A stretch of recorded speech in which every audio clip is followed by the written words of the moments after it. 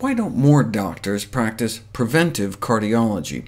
Available time is a reason frequently cited by physicians, but if you probe a little deeper, yes, they complain about not having enough time to give their patients dietary advice, but the number one reason given was their perception that patients fear being deprived of all the junk they're eating. Can you imagine a doctor saying, yeah, I'd like to tell my patients to stop smoking, but I know how much they love it? Changes in diet to reduce cholesterol levels are often assumed to result in reductions in quality of life. Uh, do we get to live longer, or is it just going to feel longer? But contrary to popular belief, the study found no apparent reduction, but rather an improvement in some measures of quality of life and patient satisfaction using medical nutrition therapy as opposed to drugs for high cholesterol.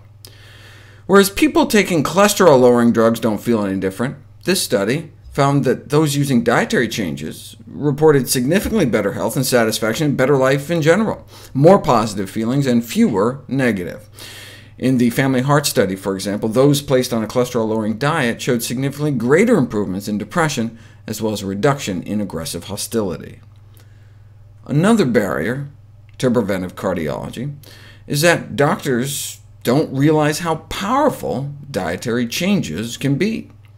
The importance of diet for patients' health remains underestimated by doctors.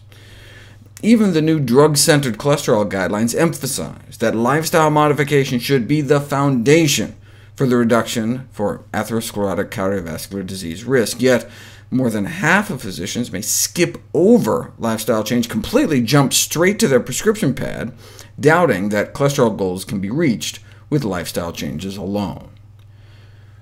According to the director of the famous Framingham Heart Study, the best way to manage coronary artery disease is to lower patients' LDL cholesterol and other atherosclerosis-causing particles. You can achieve this with diet plus drugs, but if you can do it with a vegetarian diet, it works even better.